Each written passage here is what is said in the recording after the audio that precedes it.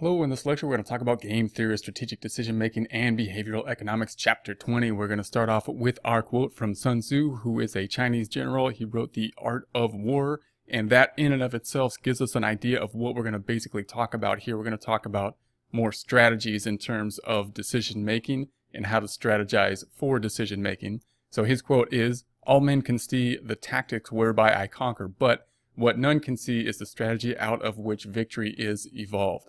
So tactics being the more tactical moves, the, the strategy would be the bigger picture, the bigger strategy involved uh, in those tactical moves being part of that overall strategy. And that's basically what we're going to go into here. We're going to start thinking about different formal ways to think about strategy.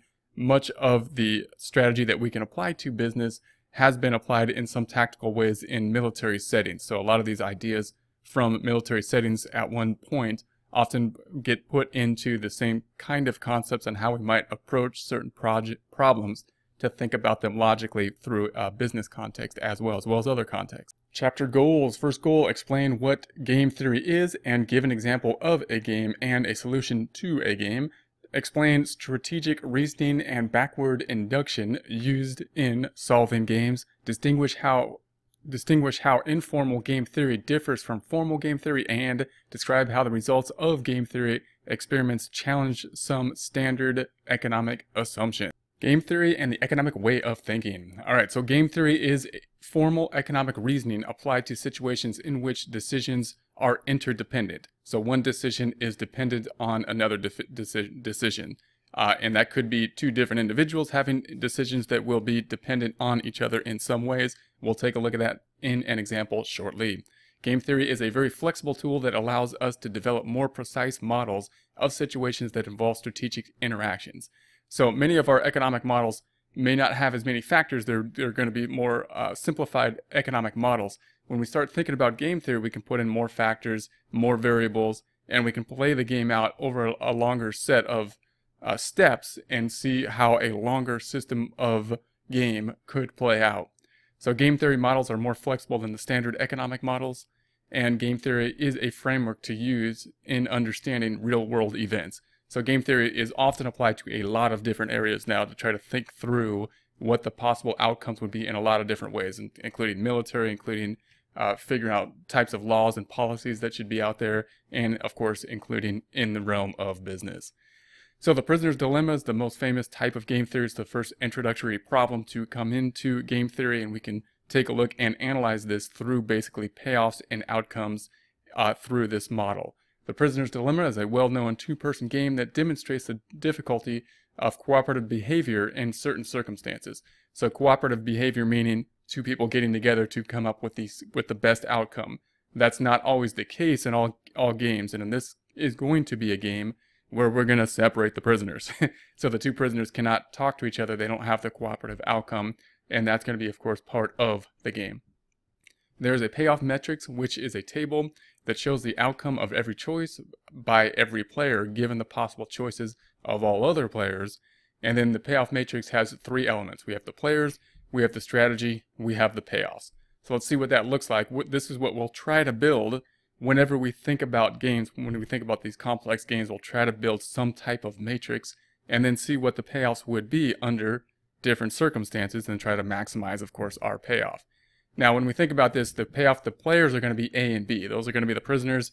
A and B are the prisoners playing. And prisoners A and B are not talking to each other. We have put them in two separate rooms. They cannot speak to each other. We don't know what the other person will do. However, uh, they have two choices. And we know that both the prisoners were they're both being told that they have two choices. Either they confess or they don't confess. That's going to be their two choices. They are then given these payoff matrix. Uh, the amount of jail time is going to be basically the payoff. So it's going to be a negative payoff in terms of jail time based on this matrix of confessing and not confessing. We'll take a look at this in a bit more detail from the perspective of person A then the perspective of person B and try to analyze what would be the best strategy for each of these items. Before doing that, however, just want to point out that the only payoff we have at this time is the jail time. So we're not taking into consideration any kind of moral factors in terms of should they or should they not confess? Is that in part of the payoff? We're not taking into any factors in terms of the problem if you if the other person has jail time what will that be affected on our conscience and things like that. We're only thinking about our certain payoffs. And note that uh, that might be seen as a flaw in the game theory. However, you could set up the game theory to include those types of things as well. Uh, it would just be a more different or complex payoff ma matrix. So we'd have to adjust the payoff matrix to include those types of things. So in this particular game, we're only thinking about ourselves in this game and we're only thinking about how can we uh, come out the best. And that's how the payoff will look. So what is the best strategy for each player given other players' choice? So notice what we're given. We're given what we can do and our payoff, and we also know that what the B can do, the other person can do, and their payoffs. So let's take a look at the payoffs if we are person A. So if we're person A, we have two choices. We can confess or we can uh, not confess. And if we think about what B is going to do, let's think about it system by system. If we say, well, B is going to confess, if we think that B is going to confess, then what will the payoff look like? Well, if B confesses and we confess, then we as A uh, will have five years. B will also have five years. So we have five years for us. That's all we're really worried about in our in our terms here. How can we be best off? And then if we do, uh, do not confess and B confesses, then we get 10 years. So now we're at, we're at 10 years and, and B goes free in that case. But in our particular payoff, which is all we care about at this point in this time and this strategy of a game, we of course are best off to confess in this case. If we, um, if B confesses and we think B is going to confess, then we are best off to confess in either in, in this situation. Now, if we think about B and we say, well, what if B doesn't confess? What would be our best strategy if B does not confess given this payoff matrix? Well, if B does not confess and we confess, then we go free. A goes free. And that's a pretty good scenario. If B uh, doesn't confess and we don't confess, then we're going to get six months and B is going to get. So in the case where B does not confess, we're still better off to confess. So whether B confesses or doesn't confess, under either scenario, we are better off confessing in this case. Let's think about it in terms of if, um, what would B do? You know, what are B's options on the other side of the table? So if we are now thinking, okay, we're A, but we're thinking about what B will do, they, they told us what B will do. They have the same options that we have. So what will B do then? Well, if B has the options to confess or not confess, and B thinks that we are going to confess, then what would be the best option for B? Well, it would be here if they they get five years if they confess. If they don't confess, then they're going to get 10 years. So B's best option under that circumstance, if they if B thinks that A is going to confess, then their best option is to confess and only get the five years rather than the 10. If on the other hand, we are thinking of what B is going to do, and we and B thinks that A doesn't confess, then what would be the best strategy for B? Well, if B confesses, there B goes free. They're not going to do any time. And if B does not confess, then uh, there's going to be six months. So notice under either strategy on B's side as well, we see that they're better off confessing other under either strategy. So kind of the paradoxical outcome of this is that both of the individuals, if we just look at the payoffs here, since they cannot talk to each other, are better off to confess, even though the total outcome would be better here if they didn't confess. If they both did not confess, then uh, they would only be doing a total of the six months and the six months, which would be far better than them both confessing, which would be five years and five years. So notice that both of them in this case, they're going to have what we call a dominant strategy in that no matter what the other person does, they're actually better off confessing. That's going to be a dominant strategy.